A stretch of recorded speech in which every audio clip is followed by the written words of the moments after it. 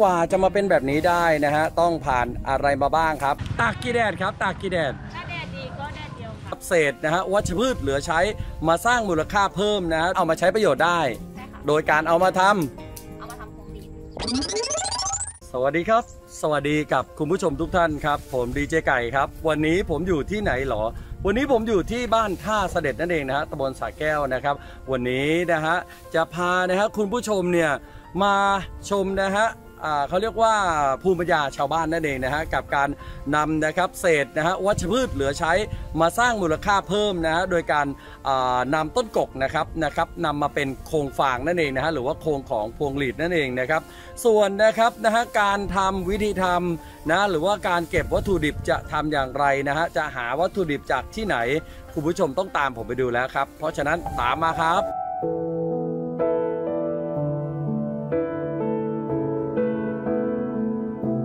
ตากกี่แดดครับ ตากกี่แดด ถ้าแดดดีก็แดดเดียวค่ะอ๋อ ถ้าแดดดีก็แดดเดียว ค่ะ นี่ครับ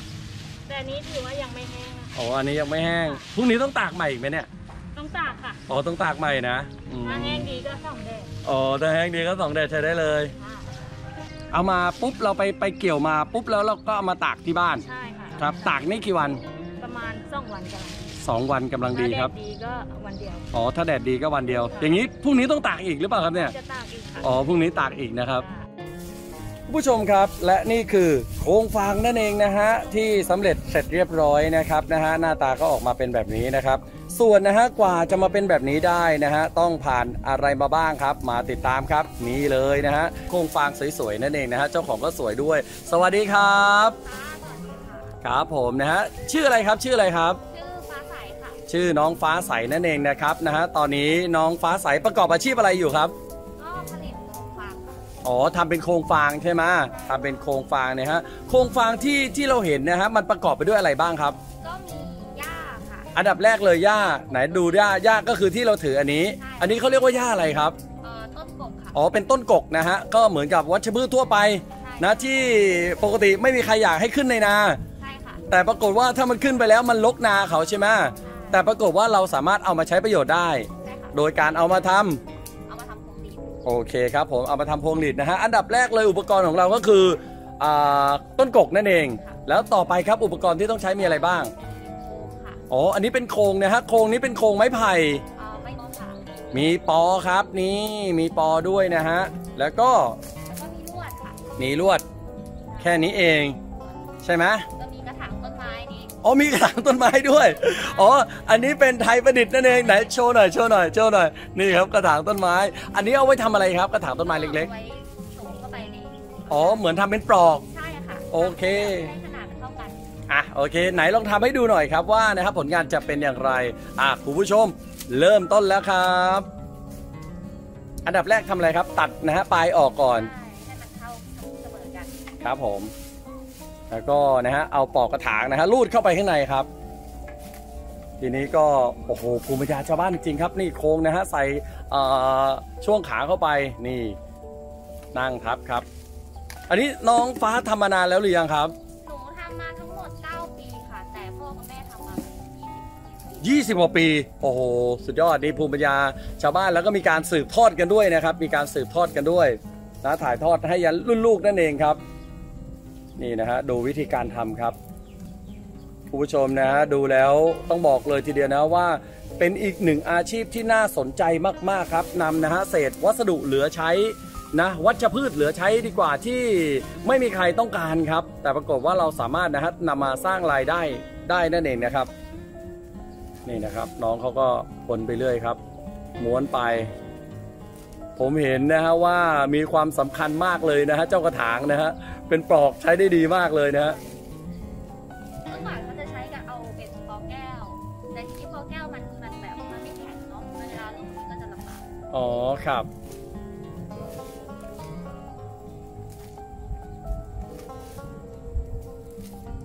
นะครับเขาก็ทำของเขาไปเรื่อยเรื่อยเรื่อยนะฮะ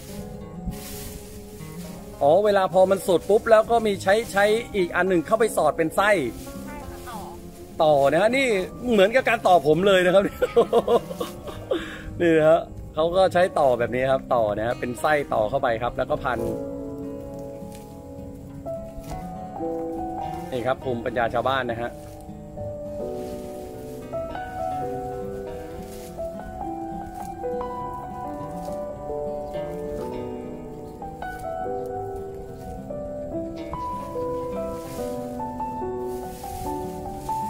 ต่อไปกว่าจะสุดเลยใช่ไหมใช่นี่ครับ ตอนนี้ก็ใกล้จะสุดแล้วนะครับต่อแค่เนี้ยค่ะพอละครับผม แล้วเวลาพอปลายมันชนกันแล้วครับ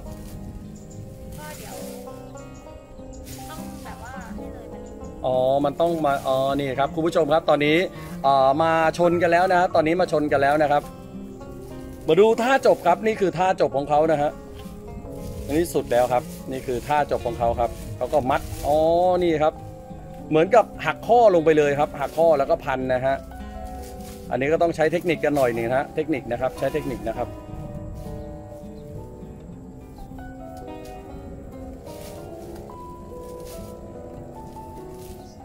นี่ครับภูมิปัญญาชาวบ้านครับนะนำเศษนะฮะวัชพืชเหลือใช้ครับนำมาประกอบอาชีพได้นะครับ เป็นอีกหนึ่งอาชีพที่น่าสนใจมากๆครับ นี่นะฮะพอจบเสร็จเรียบร้อยครับ เรียบร้อย ตอนนี้ก็มาถึงนะฮะอันนี้สุดแล้วใช่ไหมฮะสุดแล้วครับเขาก็ทำเกินนะฮะจากรอยสุดเข้ามาอีกประมาณคืบหนึ่งเลยนะฮะประมาณคืบหนึ่งนะครับ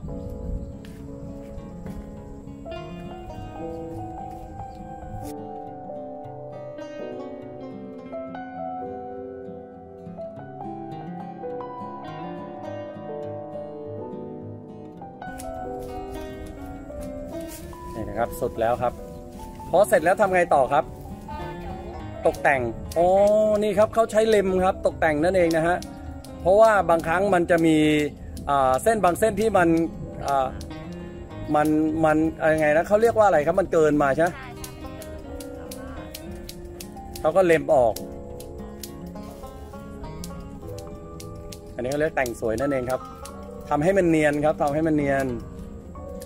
โอ้โห มันแน่นมากครับคุณผู้ชม แน่นมากครับ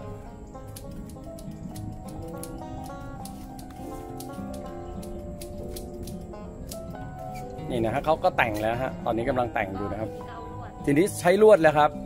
ลวดเมื่อสักครู่นะฮะ เอามาใช้ประโยชน์ตรงนี้นะครับ อ๋อ สอดตัวนี้ ก็คือทำเป็นที่ยกนั่นเอง หรือว่าที่แขวนใช่ไหมใช่ค่ะ นี่ครับ มัดเรียบร้อยครับ อ่าโชว์ให้ดูหน่อย โอ้โห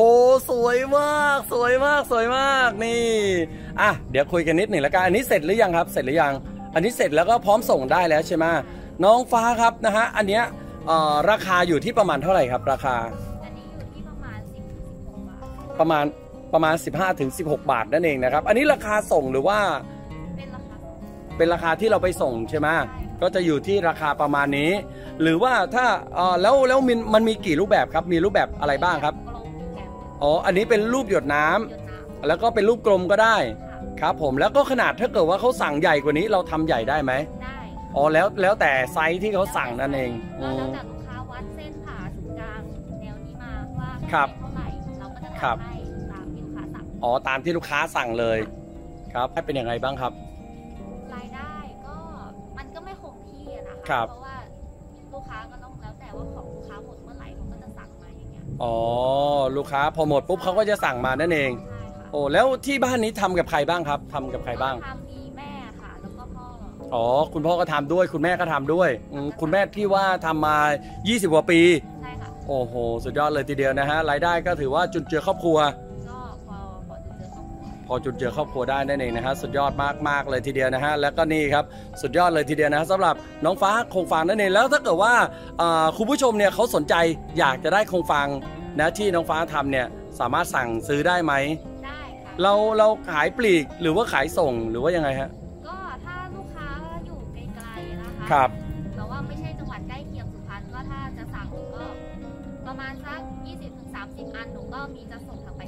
อ๋อ ส่งไปรษณีย์ได้ อันนี้เขาเรียกว่าส่งออนไลน์กันเลยทีเดียวใช่อะบอกเบอร์โทรนิดหนึ่งครับศูนย์แปดศูนย์เก้าไอ้นี่ศูนย์หกเอาใหม่เอาใหม่เอาใหม่เทคเทคลืมเบอร์ตัวเองเอออะเบอร์โทรครับศูนย์หกหนึ่งห้าสี่สามห้าหกแปดแปดค่ะอะโอเคนะฮะ อันนี้ก็สามารถนะฮะติดต่อได้ หรือว่ามีเพจมี Facebook อะไรที่เพื่อนๆสามารถเข้ามาชมได้ไหมครับ มี โอ้ฟ้าใสนะครับ Facebook ฟ้าใสโครงฟางสุพรรณใช่ค่ะ โอเคนะฮะ สุดยอดเลยทีเดียวนะครับ เพราะฉะนั้นเพื่อนๆตบมือให้หน่อยเย้สุดยอดครับ ขอบคุณมากครับ บ๊ายบาย หมายหมายถึงว่าอ่าเราจะสร้างกำลังใจให้กับคนที่ไม่มีอาชีพอ่าแล้วก็ลองให้เขาค้นหาอาชีพเงี้ยคุณแม่จะบอกว่ายังไงดี